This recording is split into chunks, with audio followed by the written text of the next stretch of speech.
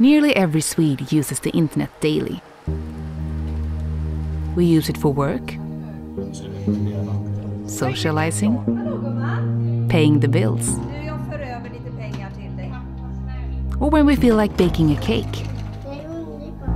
The Swedish Internet Foundation is an independent organization responsible for all .se and .nu domains.